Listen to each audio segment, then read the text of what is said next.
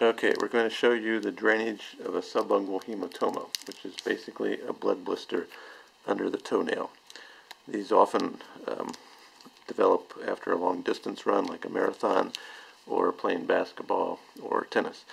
So I've got my supplies here. I've got uh, an alcohol pad and an 18 gauge needle, and we'll show you the technique for drilling a hole which allows the blood to come out from underneath the nail.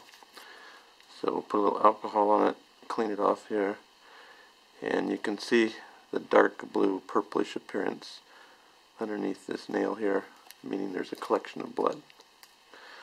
So we'll take our needle and use it like a drill. Go towards the center of the nail and we will drill back and forth. Don't have to put a lot of force on it. It will gradually make a hole and you'll know that you're below the nail when you see blood coming out.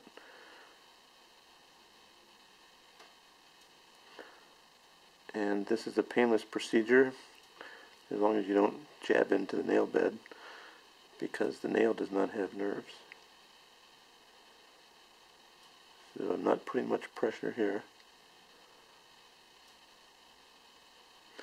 Now sometimes if you do this, there we go, too late in the procedure, or too, too late after it occurred, the blood will be dried and you really won't get any significant blood. So you can see the, the blood's easily coming out here. That's relieving the pressure of the blood building up underneath the nail. Okay.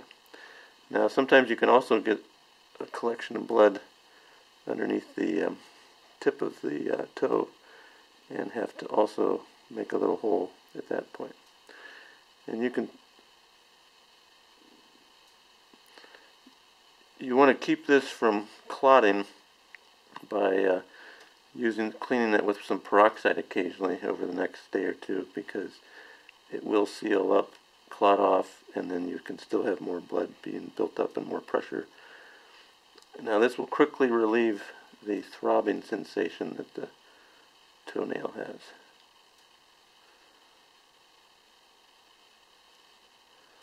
You can see it's still draining. A lot of pressure has built up underneath there.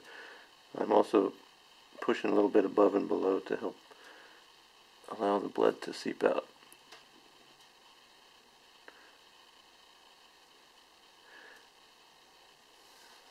Okay, that'll do it.